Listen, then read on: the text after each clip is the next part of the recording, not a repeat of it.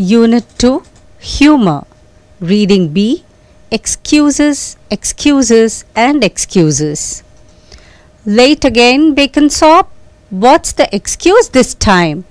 Not my fault, sir. Whose fault is it then? Grandma's, sir. Grandma's? What did she do? She died, sir. Died? She's seriously dead, all right, sir.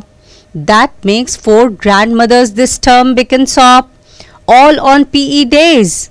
I know, it's very upsetting, sir. How many grandmas have you got, Blenkinsop? None, sir. You said you had four. All dead, sir. And what about yesterday, Blenkinsop? What about yesterday, sir? You were absent yesterday. That was the dentist, sir. The dentist died? No, sir. My teeth, sir. You missed the maths test, Blenkinsop. I had been looking forward to it, sir.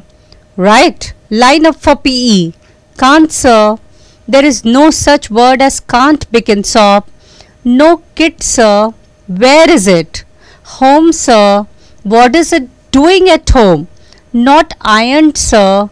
Couldn't you iron it? Can't, sir. Why not? Bad hand, sir. Who usually does it? Grandma, sir. Why couldn't she do it? Dead, sir.